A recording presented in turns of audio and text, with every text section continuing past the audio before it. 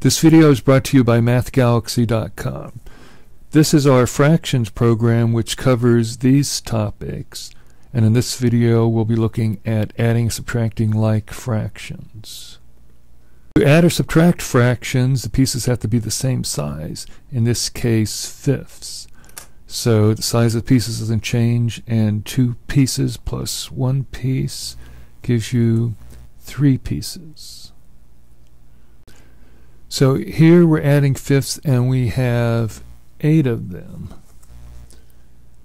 So we have more than it takes to make a whole, so we use what we know about simplifying fractions. It takes five to make a whole, so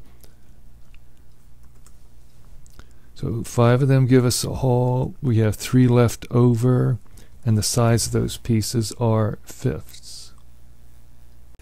Now let's look at subtracting fractions. So here the size of the pieces are fifths. We have 3 give away 2 and we have 1 left. So there's 3 give away 2. We have 1 left.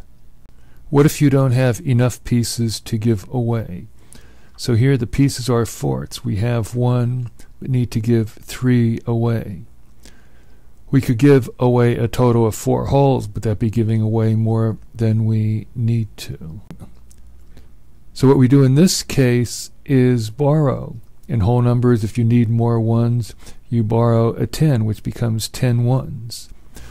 But with fractions, you borrow according to the size that you need, in this case, fourths. And you only need to convert one whole to the pieces. So we take one whole, leaving five, and we break it up into four fourths. So you borrow according to the size you need. If you needed halves, it would become two halves. If you needed thirds, it would become three thirds. If you needed fifths, it would become five fifths, and so on. So now we have a total of five pieces. One we started with, four we borrowed. So if we get three away, we have two left. Excuse me. Uh, so we start out with five, give three away, we have two left. And now we only have five wholes and if we give three away, we have two left. Okay, and as usual, we need to reduce the fraction part. What if you don't have any pieces at all to give away? Here we have none, and we need to give a third of a whole away.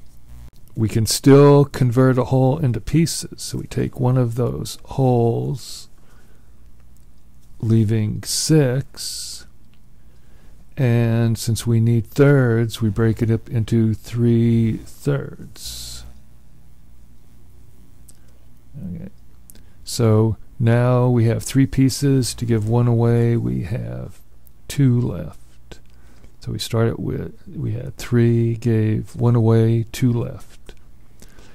And now we have six wholes, give five away, we have one left.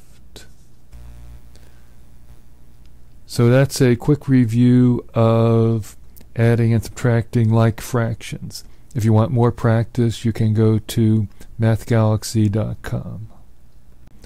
The fractions program has two modes. One talks you through problems step by step. The other only asks for the final answer. And when you exit the final answer mode, it gives you a score which you can print out. And this little creature here is a robot that you earn for each problem that you do that you can use in a maze game called the Labyrinth.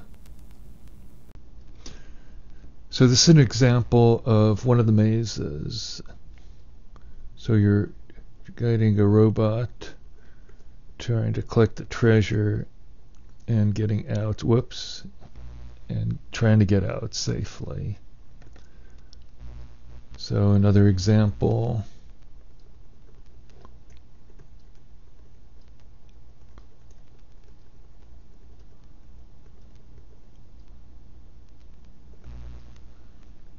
Okay, so, and the screen may look a little compressed vertically.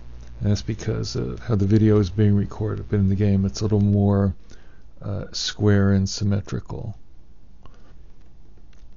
So another example. So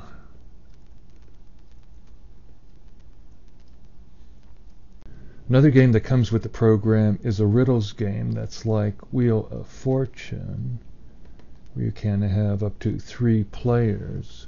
For example, here the riddle is why did the elephant paint herself different colors? So you can choose to, uh, or you can try to solve the riddle at the beginning or end of each turn. So player one, let's guess a letter. So A is 3 fourths plus 3 fourths, 6 fourths, which is one and a half. So A should go there. And let's pass on to player 2.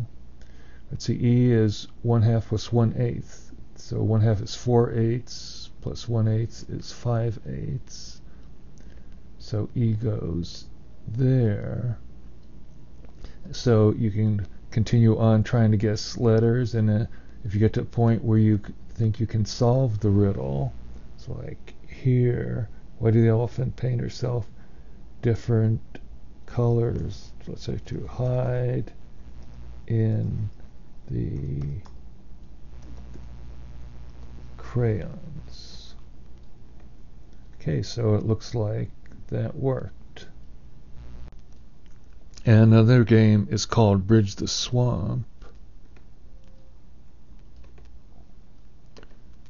where one player, red, is trying to build a bridge in this direction, green is trying to build a bridge in this direction, and the first player to complete to complete their bridge and block the other player wins.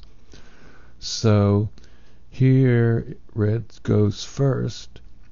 Say that red wants five, so those two should add up to five.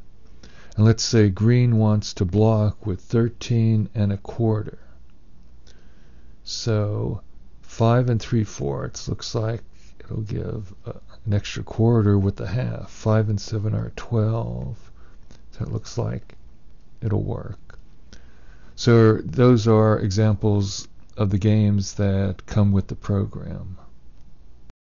This has been a quick review of adding and subtracting like fractions. If you want more practice, you can go to mathgalaxy.com. Thank you for listening.